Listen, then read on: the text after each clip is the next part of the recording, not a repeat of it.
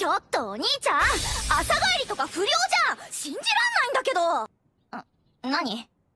いや姫川さんのところにお邪魔してただけだ。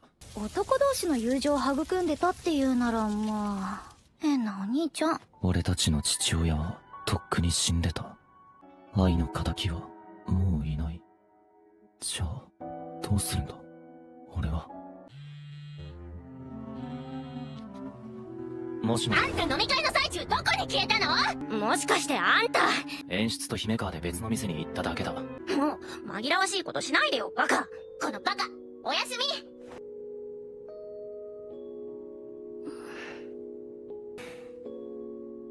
未成年はお酒飲んじゃダメなんだからね。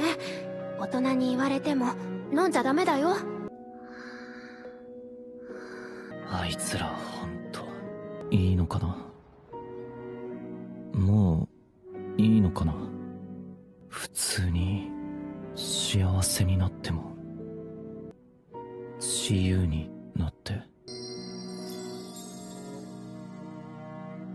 お兄ちゃん朝ごはん食べる？ああ食べる